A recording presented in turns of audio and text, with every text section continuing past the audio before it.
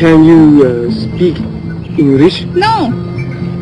I see. Eh? You cannot speak English. ทุกท่านเสียงนะครับโกโบริหน้าใสออกอย่างนี้ไม่รู้ทำไมอังสุมาลินถึงใจแข็งไม่รับรักสักที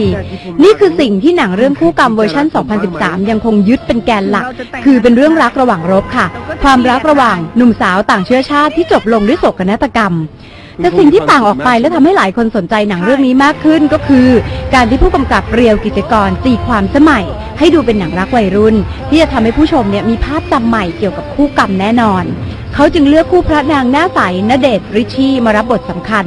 ซึ่งหนุ่มฮอตอย่างณเดชน์ก็รีบตอบรับทันทีที่ถูกท้าทามค่ะ แต่ว่าต้องเคลียร์คิวนานถึง 9 เดือนนะคะกว่าจะได้เปิดกล้องกัน แล้วเขาก็ไม่ทำให้ผิดหวังเลยจริง ๆ โกโบริณเดชน์ของแป๋วเนี่ย คนที่ได้ดูแล้วบอกว่าสุดยอดมากๆ เพราะว่าเป๊ะตลอดไม่หลุดบทเลย พูดญี่ปุ่นเหมือนคนญี่ปุ่นจริง ๆ ค่ะ แล้วก็ทำพูดไทยไม่ชัดได้น่ารักมาก โดยเฉพาะอย่างยิ่ง การแสดงออกทางแววตาณเดชน์สอบผ่านค่ะ เชื่อว่าเป็นโกโบริในดวงใจของคอหนังไม่แพ้เวอร์ชั่นก่อนๆแน่นอน เวลาได้ยินคนอื่นบอกว่าชมว่าหนังโอเคอะไรเงี้ยหนังดีเออเล่นดีหรือว่าเป็นแบบว่าทุกอย่างองค์ประกอบ production แบบว่าอุ้ยสวยมากหรือว่าอะไรเงี้ย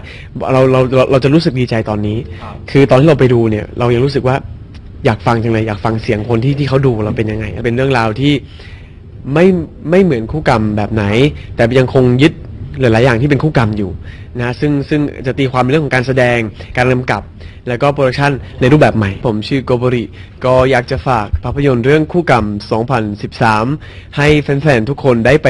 รับชม คิดว่าน่าจะถูกใจ แล้วก็น่าจะชอบกันนะครับผมขอบคุณครับ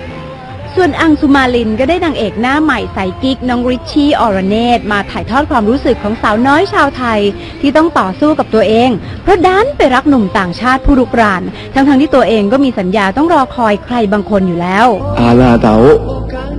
ไอชิเตมัส